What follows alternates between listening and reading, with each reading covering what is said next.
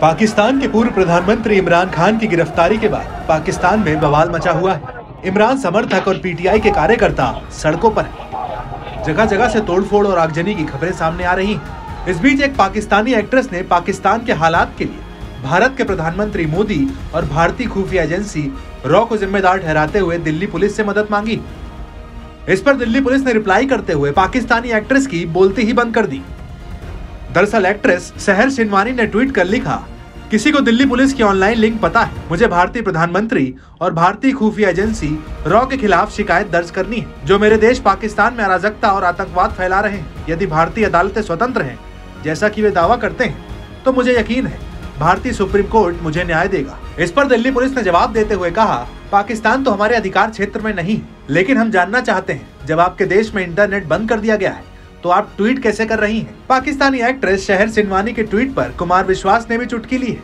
उन्होंने ट्वीट कर लिखा, धैर्य रखिए, जल्दी क्षेत्राधिकार के लिए आपका इंतज़ार खत्म होगा। आपको बता दें कि पाकिस्तान के पूर्व पीएम इमरान खान मंगलवार को इस्लामाबाद हाईकोर्ट में कुछ मामलों में सुनवाई के लिए पहुँचे थे। जब इमरान खान इस्लामाबाद हाईकोर्ट के अंदर अपने बायोमेट्रिक्स करा रहे थे, तभी पाकिस्तानी सेना के रेंजर्स ने उन्हें गिरफ़्तार कर लिया।